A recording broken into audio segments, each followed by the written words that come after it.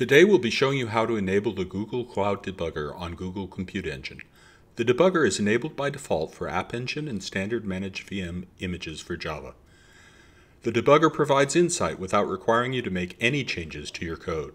With each snapshot, it is possible to view the call stack and variables of your application, all without stopping or slowing down. All new projects have these APIs enabled by default. Older projects may need them enabled.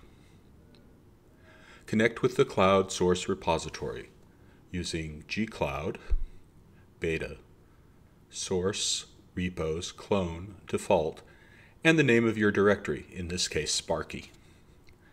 Copy the files to the new directory and add the debugger agent to the startup script. First, download the latest version of the Bootstrap script from cloud storage and make it executable.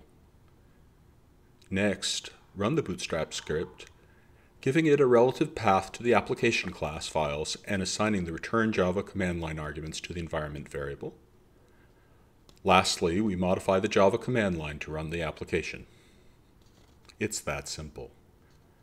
Commit and push your source code to the cloud source repository.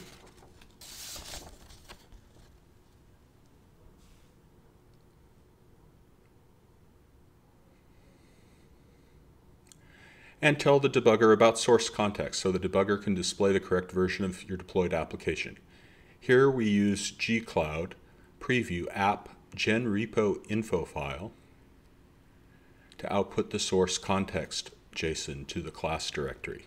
Typically, you'll do this during Maven's process resource phase. Build the project and deploy it.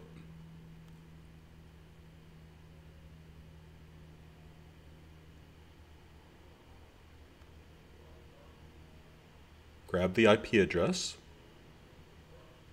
make sure it works, navigate to source debug and to your source file.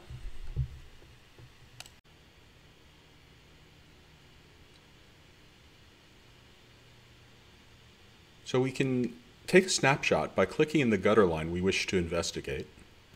Now wait for an incoming request that causes the line to trigger the gathering of the snapshot. That was fast. We look at the results. Note that the app wasn't blocked and is still running and handling incoming traffic at full speed. We can also look at the call stack. That's it.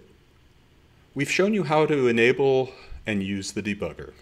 For more information, take a look at the documentation. We provide support on Stack Overflow, and the source of the example is on GitHub.